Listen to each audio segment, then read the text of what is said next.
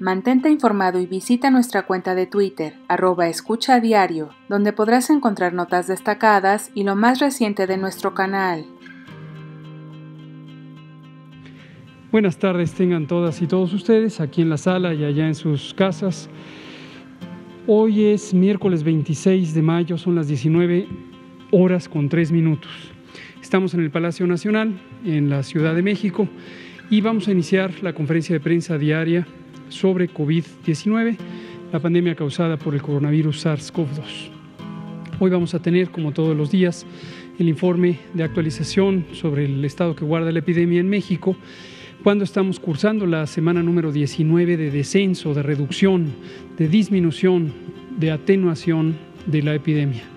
19 semanas en proceso donde todos los indicadores de la epidemia van a la baja y en general se mantiene una situación de bajo riesgo epidémico, al menos en 16 de las 32 entidades federativas y en las restantes existe la condición marcada por el semáforo amarillo o, en el caso de Quintana Roo, por el semáforo naranja.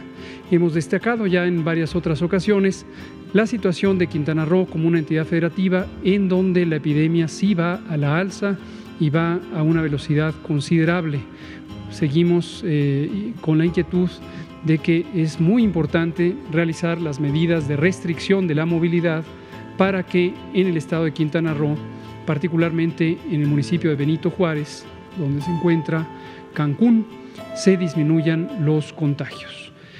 Y ya estás informado. No olvides darle like a este video, comparte y suscríbete a Escucha Diario.